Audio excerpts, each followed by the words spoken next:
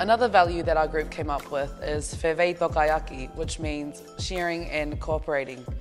Um, in the Pacific community, especially in the Tongan community, it's very important to share um, and cooperate with each other. This allows our young generation to thrive, um, it allows our older generation to thrive, and it just means that we all support each other. Yo, what's up, guys? Sup? Sup? What are you guys doing later on today? Nothing? Are you guys not going to the concerti tonight? Oh no, not the concerti again. Why would we even go there? It's just a waste of time. Can I have a drink? No, go get your own drink. Far out, Sonny. Don't be sad, man. Why you gotta be so stingy for? Why can't you just share the drink? Maybe because I don't care about this stuff. Maybe because it doesn't matter to us. Maybe you should, because Another important value that us Oamaru Tongan youth respect is um, Feveitokai'aki, which is sharing.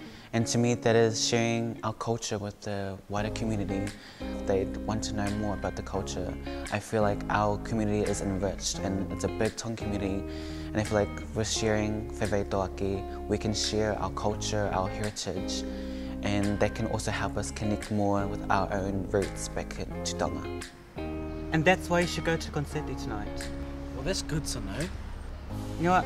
Just think about Shone. And guess what? Sharing isn't rubbish. Let's go, guys.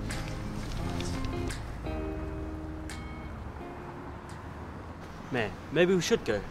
Yeah, well, I'm not sure, but I'll think about it.